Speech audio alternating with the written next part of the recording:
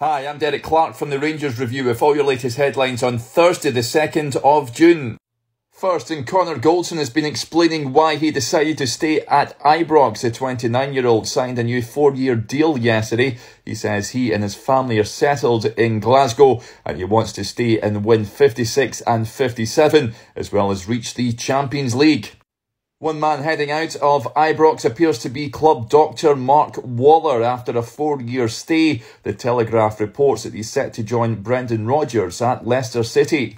And former Rangers midfielder Kevin Thomson could be in line to join Michael Beale at QPR. Thomson resigned as Kelty Hearts manager earlier this week, while Beale was appointed as the new manager of the Loftus Road club yesterday.